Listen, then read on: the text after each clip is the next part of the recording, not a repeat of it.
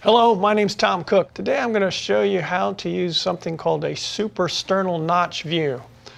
So when would you use this? Well, let's say you got a patient who comes in, maybe they're older and they've got a little bit of hypertension, they complain of this real terrible pain and uh, they say, well, God, it just feels like it's ripping right through my body. And of course, a lot of us, we'd go for a parasternal long axis view, which I'm demonstrating here.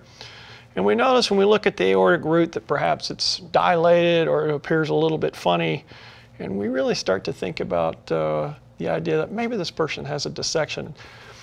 So what we can do is take our transducer and place it in the suprasternal notch. And we can take it and angle the transducer towards the patient's left shoulder. What we're trying to do is pick up a long axis view of this patient's aortic arch.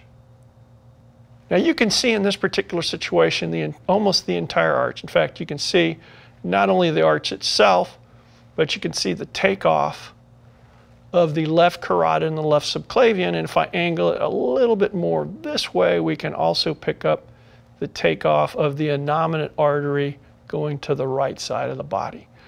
Uh, so this is a fantastic view to get.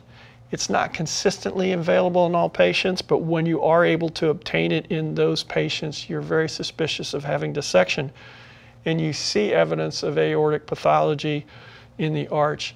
It really helps you manage that patient quickly and efficiently. Obviously, we need to get the blood pressure down. We need to get cardiothoracic surgery involved very, very quickly. And this can really be literally a lifesaver if you know how to use it.